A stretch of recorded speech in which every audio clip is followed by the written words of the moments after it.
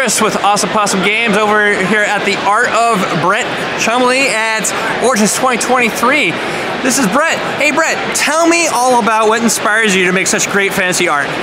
Well, I've loved fantasy art. I've loved dragons and knights and wizards and things like that ever since I was a child.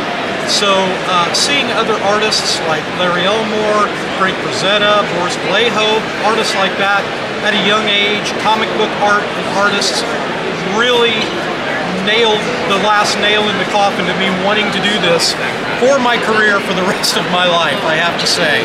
So I've been inspired by this stuff since early, early childhood, and I don't see myself stopping at any point anytime soon. Fantastic.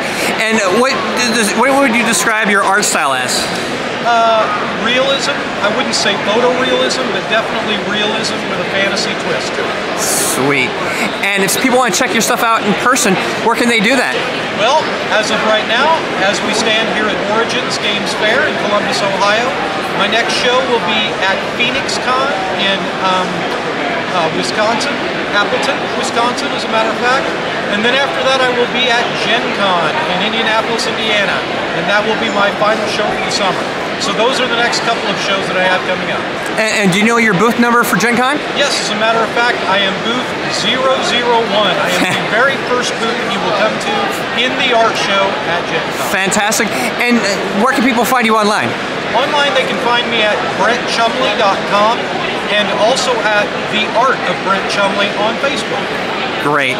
Thank you very much for your time, Brent. Thank I hope you. you have a fantastic show. I am. Thank you so much, and you as well and thank you for watching.